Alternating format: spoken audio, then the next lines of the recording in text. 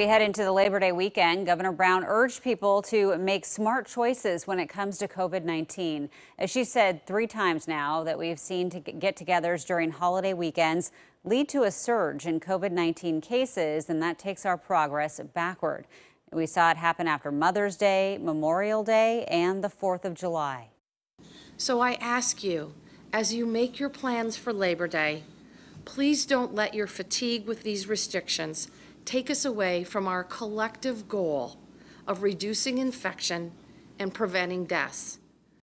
Health officials said we cannot celebrate this Labor Day the way we have in the past. The number of cases are going down, and they want to keep it that way. They're asking everyone to stay local and keep their get togethers small and wear a mask if you're having people over, and they suggest staying outside.